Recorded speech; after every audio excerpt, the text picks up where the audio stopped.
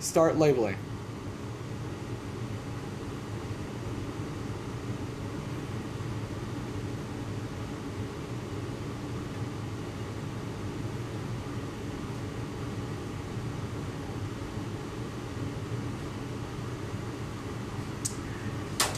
The primary label, VDS 703, will go onto the red top.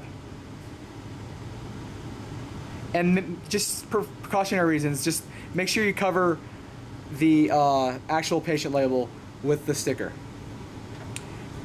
And if we have saline specimens, they'll be labeled A and B respectively. And you label them the same exact way. A and B. Okay, after labeling, uh, we're ready to uh, freeze them. But before we do, you gotta get a clean biohazard bag, and on the back of it, you're gonna write a couple of things. The first thing you write is the VDS number. We're on 703. You're gonna write which specimens you're gonna put in the bag. In this bag, we're gonna put the red top, red, and B. We always keep A here at the hospital. And then also put Dr. Walsh on the bag as well. So now that our bag is labeled, we can start putting in the two specimens. The red one goes in, make sure it's sealed.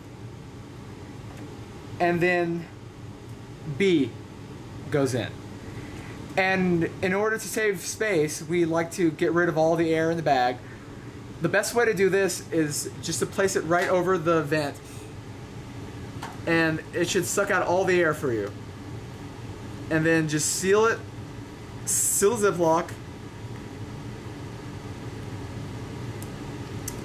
and we're ready to go freeze.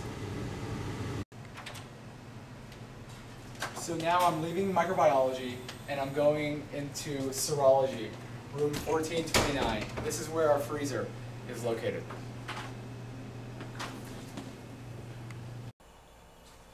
Uh, this is our negative 20 degrees Celsius freezer.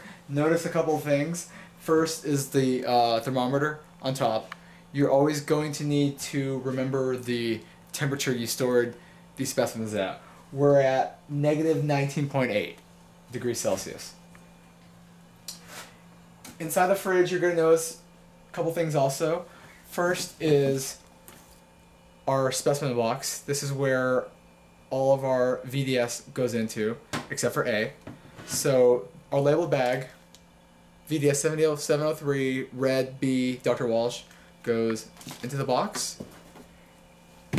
And then VDS 703A, 703A, goes into the next available box, which will be box number 10.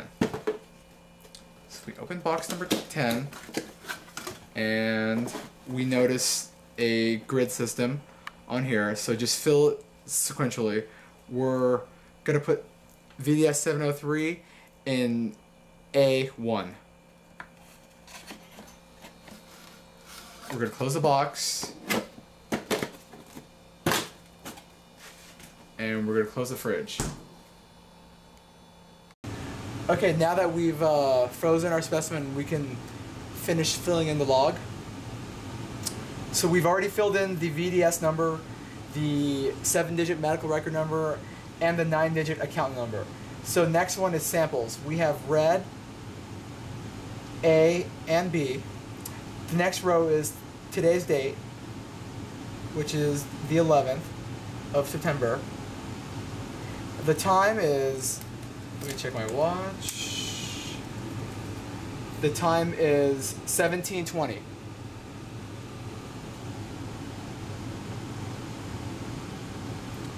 And the temperature was negative 19.8 degrees Celsius. Uh, my initials, and then my name.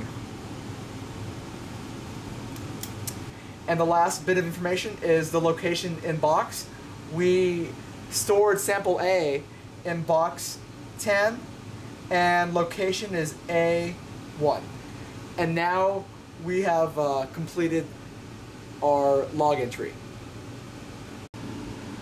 So now we're uh, all done so we can get cleaned up.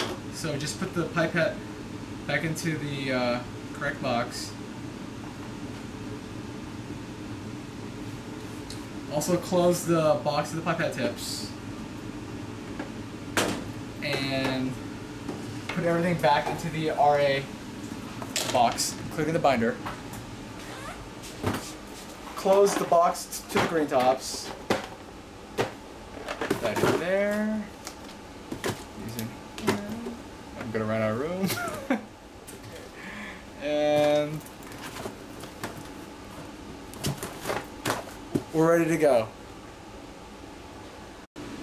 And before leaving the room, we gotta turn off the hood, make sure all the switches are on off, and it's okay. And uh, the last step is to uh, get rid of the sole gloves. So take your gloves off, put them into a biohazard bag, and then come over to the sink. And remember, always wash your hands before leaving the lab.